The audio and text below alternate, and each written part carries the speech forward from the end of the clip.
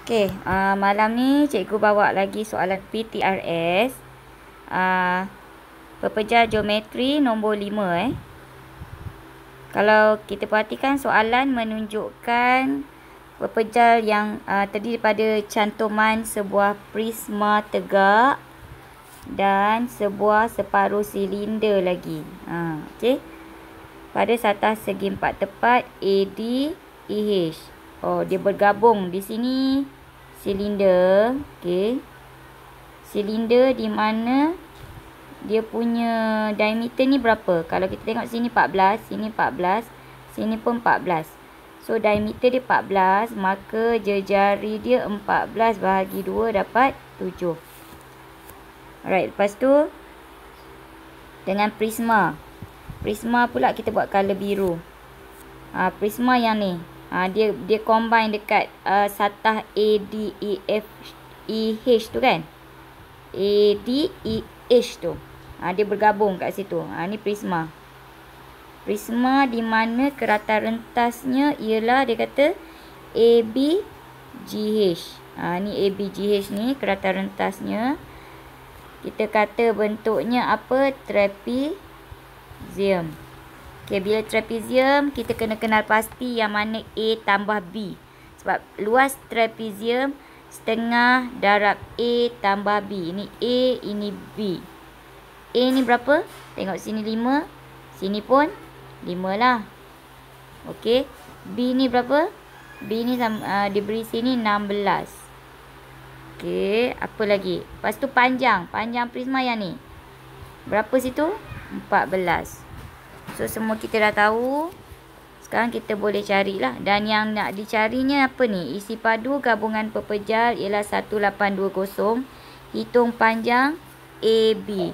AB ni yang nak dicari. Kita letak dia sebagai X yang kita nak cari. Okey, so sekarang ni. Maknanya awak perlu mencari. Kalau uh, ikut kat sini yang kita nak cari adalah X kan. X ni adalah prisma punya. Tapi kalau silinder, separuh silinder semua kita tahu. Jejari kita tahu. Tinggi silinder adalah di sini. Sini tinggi dia. Samalah ni. Ha, ni samalah tinggi silinder lah ni. 16 ni. Tinggi silinder sama dengan B untuk prisma tadi eh. Okay, so sekarang ni kita start. Nak cari isi padu silinder. Isi padu silinder. Separuh silinder sebenarnya half setengah pi j kuasa 2 t. Kenapa separuh? Sebab yang ni separuh silinder. Ni ni kita letak setengah ni sebab dia separuh silinder. Tapi kalau silinder dalam formula adalah pi j kuasa 2 t. Sebab separuh silinder kena letak setengah kat depan. Setengah kali 22 per 7 kali jejarinya tadi 7 kuasa 2 kali dengan tingginya 16. So tekan kalkulator dapatnya 1 per 2 darab 22 per 7 darab 7 kuasa 2 darab 16. So sama dengan 1232. Okey. Prisma uh, dia bagi isi isi padu gabungan pepejal. Macam mana dapat gabungan pepejal? Prisma tambah dengan silinder. So sekarang silinder kita dah tahu 1, 2, 3, 2. Tambah dengan prisma sama dengan 1820. So prisma berapa? Maknanya 1820. Ni kita tolaklah dengan 1232. Dapatlah prisma. Eh? 1820 tolak 1232. So dapatnya 588 untuk prisma. Okey.